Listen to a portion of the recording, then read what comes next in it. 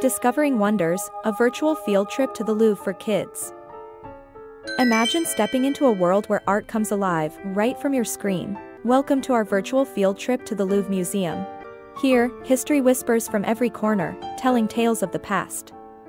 Our first stop, the iconic Mona Lisa, awaits with her enigmatic smile. As we wander, remember, this magnificent museum was once a fortress, guarding secrets from the 12th century. Marvel at the endless galleries, housing treasures from civilizations across the globe. Did you know? The Louvre is the largest art museum in the world.